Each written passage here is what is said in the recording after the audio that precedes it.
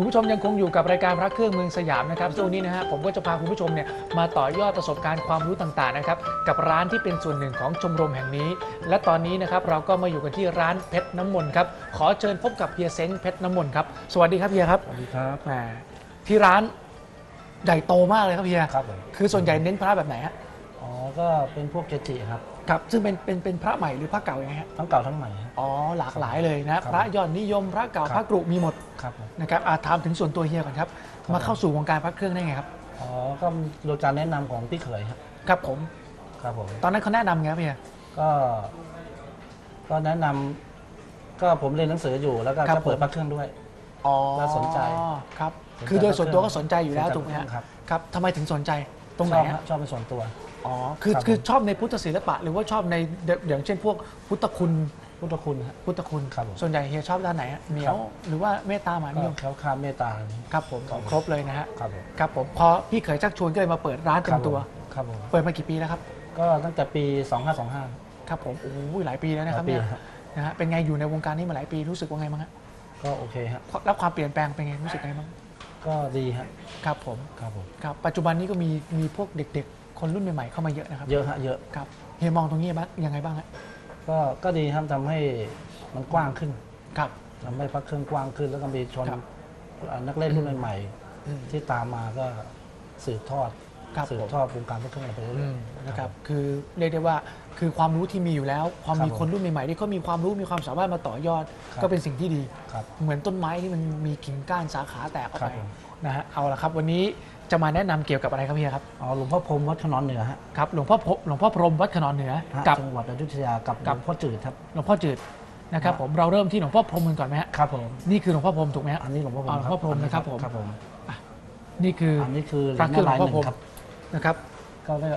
ท่านท่านเป็นทำเป็นครั้งแรกก็คือเหรียญนารายณ์หนึ่งฮะครับผมนี่คือเหรียญที่ท่านทำครั้งแรกเลยฮะนะฮะเป็นนารายณ์หนึ่งฮะแต่ครับครั้งแรกจริง ๆ ก็อืมท่านจะสร้างเป็นเหรียญคล้ายๆหลวงพ่อเงินปีอ่า สองสี่ครัเก้าบผมสี่ อ๋อแต่อันนี่มาทำครั้งที่สองก็เป็นนารายณ์หนึ่งครับผมก็เป็นพระลังละข้างหลังจะเป็นพระนารายณ์ฮะครับ คือท่านท่านโดดเด่นในเรื่องอะไรฮะพระเหนียวฮะเหนียวฮะงนะครับธมแล้วชติอย่างการนำพระนารายณ์มาเป็นส่วนหนึ่งของวัตถุมงคลเนี่ยคือ ครับท่าท่านนมีมีองค์ท่านมีองค์ของพระนารายณ์อยู่แล้ว อะถ้างั้นขอประวัติของท่านพอสังเขปได้ไหมอ่าเป็นยังไงท่าเป็นฮะลูกศิษย์ของหลวงพ่อขันวัดนกกระจาบครับครับผมหลวงพ่อพรหมเนี่ยนะครับผม ครับผมอืมครับ ฮะแล้วไงต่อครับ ก็สืบทอดมาแล้วก็อืม ท่านเริ่มสร้างพระเครื่องก็ตั้งแต่ปี 2494ครับผมอ๋อแล้วมาแต่เหรียญรุ่นนี้สร้างในปี 2 2509 ครับ ครับผมครับผม อืมท่านก็เป็นลูกศิษย์เรียกได้ว่าลูกศิษย์หลวงพ่ก็อขันก็ได้ศิษย์เอกวิชาครับผมจากหลวงพ่อขันมา ใช่ครับครับผมครับอืมอะอะเหรียญของท่านเป็นไงฮะมีความโดดเด่นไงฮะอ๋อจะมีความศิลปะสวยงามเป็นศิลป์ฮะครับผมท่านเป็นแล้วก็นารายณ์ที่จะเป็นลายเส้นอะด้านหลังนะฮะด้านหลังครับด้านหลังจะเป็นลายเส้น ครับผม เป็นลายเส้นเหมือนลายไทยอะคุณผู้ชมลายไทยครับนะครับมีความสวยงามครับอืมครับ คือความหมายของท่านนิพพานารายณ์นี่คือท่านใส่ไว้เพื่อให้ปกปักคุ้มครองหรือว่าให้ให้ก็ให้ทำนองพุทธคุณทางด้านไหนทำนองแคล้วคลาดครับแคล้วคลาดนะครับแคล้วคลาดปลอดภัยอืมนะครับอ่าด้านหน้าก็จะเป็นรูปเหมือนของท่านรูปเหมือนของท่านครับครับผมมีมีตอกโคดมีอะไรตรงไหนยังอ๋ไงอไหมไม่มีครับสมัยก่อนท่านจะไม่ไม่ไม่ค่อยตอบโค้ดครับผมแล้วของเล่นแบบมีเรื่องตอนนี้ก็มีเยอะครับ เหมือนไหมครับเฮียครับผมเหมือนไหมเหมือนอะคจริงเหรอล้าย โอ้แล้วนี่ครับแล้วนี่จะดูไงฮะอ๋อดูจุดได้ไหนครับมีตรงไหนจุดฮะตรงไหนฮะๆมีจุดก็จะต้องดูช่วงข้างบนฮะครับผมจะมีคมฮะของเก๊จะทำไม่ได้ครับคมคมตรงไหนเป็นช่วฮะงสี่เหลี่ยมครับสี่เหครับลี่ยมผมด้านบนอ๋อที่เป็นคำว่าพระอาจารย์พรหมเนี่ยนะฮะใช่ครับผมคมนี่คือหมายถึงคมยังไง จะลึกฮะจะเป็นอ๋อช่องมิติจะลึกครับผมแต่ถ้าที่ทำเทียมออกมาจะตื้นๆครับ เส้นเนี่ยลึกนูนครับชัดเด่นเด่นมากเลยครับซึ่งผมจะขับให้พื้นเนี่ยลึกลงไปครับนะครับครับ ตัวหนังสือก็ต้องคมครับผมนะฮะ นี่คือเหรียญครับเหรียญนารายรุ่นณ์หนานึ่งรายณ์หนึ่งอันนี้สนุนราคาก็อ่าปัจจุบันก็สวยๆก็น่าจะเป็นเรือนแสนนะครับโอ้โหนะครับอะครับผมอะต่อไปครับครับผมนี่ฮะอันนี้ของท่านเหมือนกันฮะครับผม อันนี้สร้างในสร้างในปี 2513ครับเป็นเหรียญรุ่น3ครับอืมครับครับมีกี่เนื้อหายังไงฮะอันนี้เป็นเนื้อเงินฮะครับผมเนื้อเงินจะมีประมาณประมาณ 200กว่าเหรียญครับอืมก็ทองแดงก็ประมาณ 2,000 เหรียญครับครับผมครับผม ของเล่นแบบนี้ยังครับมีฮะ มีแล้วนะดูตรงไหนยังไงฮะ ก็แยกดูแยะ ความคมดูอะไรครับไม่มีโค้ดเหมือนกันอ๋อไม่มีโค้ดครับ ครับโอ้โหส่วนใหญ่เหรียญหลวงพ่อหลวงพ่อผมนี่ไม่มีโค้ดทั้งหมดเลยไหม ก็มีหรือว่ารุ่นที่มีก็มี มีปัจจุบันก็มีระยะหลังมาปี ตั้งแต่ปี 28เนี่ยจะมีโค้ดครับอาจจะเริ่มมีนะฮะครับ นะฮะครับผมนี่สวยงามนะครับคุณผู้ชมครับผม นะครับนี่อะต่อไปครับเนี่ยอันนี้โดดเด่นเลยฮะครัเก้าบยผอมดนี่ ถึงเก้ายอด ครับผมสร้างปี 2516 ครับครับ ครับ อันนี้เริ่มมีโค้ดยัง อันนี้ยังยังฮะยังยังครับ ท่านโดดเด่นตรงที่ว่าส่วนมากท่านที่ลูกศิษย์ลูกหาจะไปหาท่านเนี่ยครับโดยมากท่านจะเป็นอาจารย์ศักดิ์อ๋อรอยสักเก้ายอด ครับผมเอาด้านหลัยังนเก้ายอดด้านนี่หลัง นะฮะแบบนี้เลย ครับนิยมกันแต่ว่าจากลายสักเนี่ยเปลี่ยนมาอยู่เป็นเป็นพื้นหลังของเหรียญเป็นผู้หลังเหรียญครับแล้วด้านล่างนี่เป็นอะไรฮะ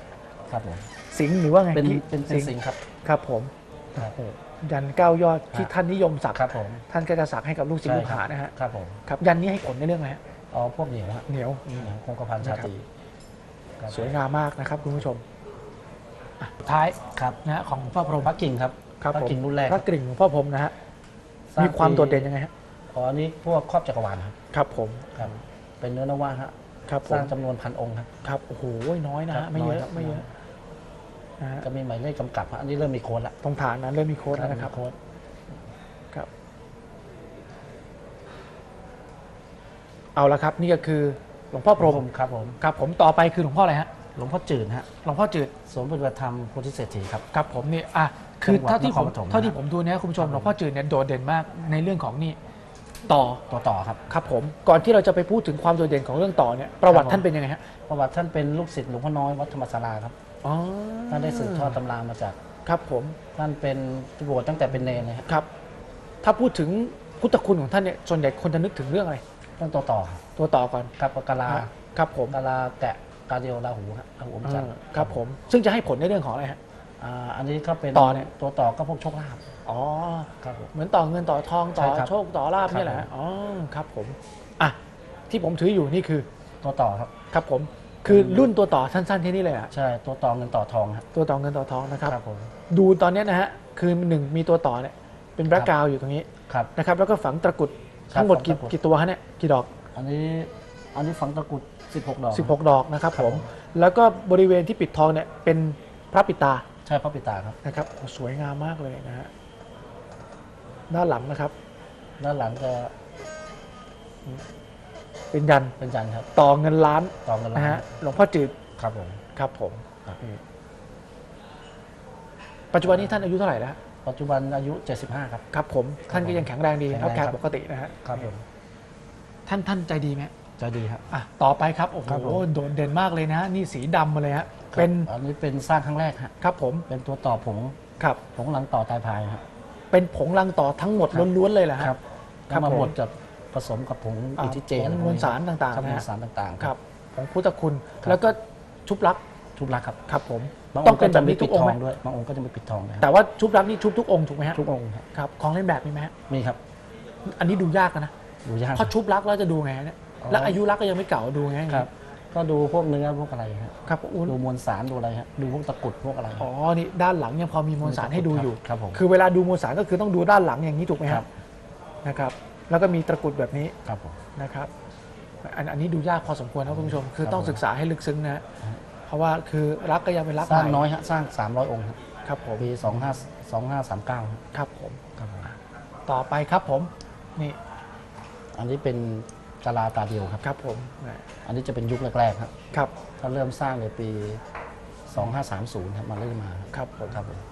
กะลาของท่านเนี่ยด้านหลังจะต้องมีมีแบบนี้ทุกองค์ไหม อ๋อไม่ฮะอันอ๋นี้อจะเป็นครับผง